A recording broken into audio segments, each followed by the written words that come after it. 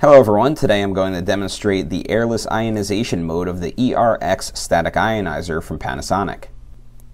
The ERX is a slim bar type ionizer that provides highly efficient charge removal without taking up a large amount of space.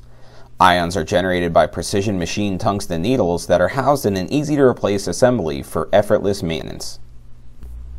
The ERX uses a pulsed AC ionization method, making it possible to remove surface charges without the need for a compressed air source.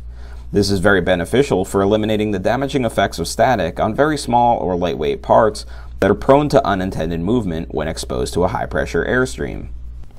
To show this concept in action, I'll be utilizing a demonstration unit which induces a static charge on strips of material that respond by levitating in the air. Immediately after I engage the ion discharge from the ERX, you'll see that the material instantly falls down as the charge is removed. Again, all of this is being done without the presence of a compressed air source.